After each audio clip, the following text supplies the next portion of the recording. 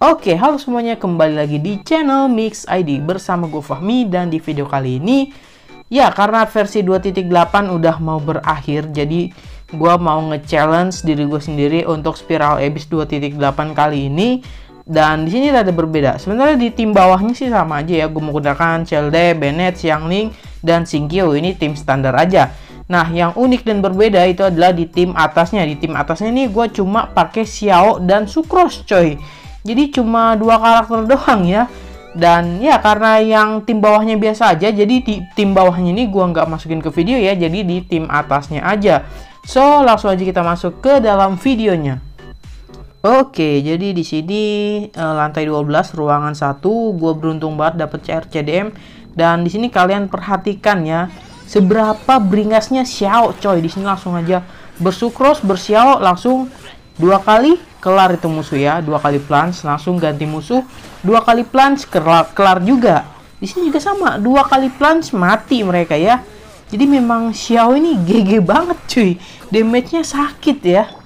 Dan di sini sudah 15 Hilichur mati. Jadi gue tinggal ngabisin sisa tiganya supaya si Hilichur gedenya apa sih namanya Mitachur sama Cryo Cryo Cryo Lawacur ya kalau nggak salah ya nah ini dia nih. Di sini kita langsung hajar lagi ya sedari awal supaya kedua mitacurnya ini mati. Jadi nggak ada yang gangguin lagi pas gua ngelawan si Krayo Lawacul coy. Nah di sini ya gue cari-cari kesempatan dulu karena gua nggak mau Xiao gua kena serangan dan mati ya karena memang damage-nya si Krayo Lawacul ini gede banget. Nah di sini udah ada kesempatan langsung saja gue serang ya. Gue serang nih di sini gue plunge attack terus bodoh amat singkup plunge lagi plunge lagi dan ya kalian bisa lihat darahnya ngurangnya itu cepet banget cuy. Nah di sini ya dia belum mati ya. Nah di sini gue pikir dia udah mati loh. Ternyata masih ada sisa darahnya loh udah udah tipis banget itu udah hampir 0, kali ya. Nah di sini lantai 12 ruangan keduanya lawan cryo hypothesis. Ini sebenarnya kadang susah juga karena seharusnya ini tuh dilawan pakai pyro tapi gue malah sok ngide lawan pakai anemo ya di sini gue elemental skill buat ngisi energinya Xiao terlebih dahulu. Nah ini kan udah penuh nih. Oh belum ya? Nah ini baru nih. Nah ini udah penuh nih. Langsung saja bersukros buat aktifin 4 nobles dan bersiao supaya cepet ya ngalahinnya ya. Kalian bisa lihat di situ damage Oh 4 luka mantep coy.